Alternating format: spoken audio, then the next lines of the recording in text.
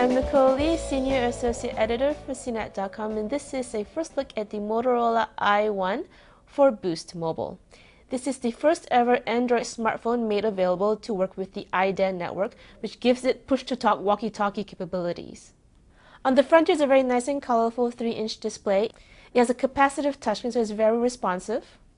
It uses Android 1.5, which is kind of an obsolete OS compared to the more recent Android models, but it's still usable and we still like it. Like all Android smartphones, the home screens are very customizable. You also get these four touch sensitive keys at the bottom here. On the back here's a 5 megapixel camera lens as well as an LED flash. The Motorola i1 is designed to be tough. It has a nice rugged exterior with rubber siding.